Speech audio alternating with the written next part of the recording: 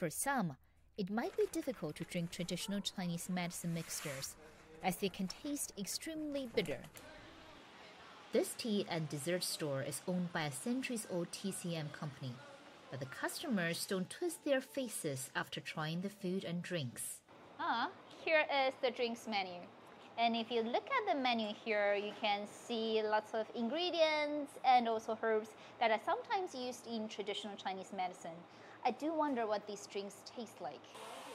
谢谢. Hmm, nice. You can actually smell the herbs. Hmm. It's not bitter at all. Uh, it's quite refreshing and it's a little bit sweet. The store also offers ice cream, desserts, and packed tea bags. According to TCM practitioners, food and medicine share the same origin, and as the store promises, they try to incorporate that concept into their products. We've drawn inspiration from many ancient texts and traditional medicinal prescriptions but we've applied the concept that food and medicine share the same origins by using food ingredients to replace some of the medicinal herbs in the formulas. Incorporating TCM into daily food and drinks isn't exactly new in China. In Guangdong province, a tea called liang cha has centuries of history, with medical herbs forming the main ingredients. And this store in Beijing tries to make traditional drinks more palatable for a wider range of customers. Come and try our liang cha today. Xiaoxue, help her check her tongue coating. TCM practitioners believe your tongue offers a window into your health.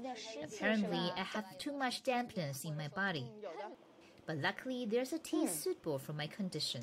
It tastes slightly bitter, not as bitter as traditional Chinese medicine and not as bitter as um, liang cha I've tasted in Guangdong province.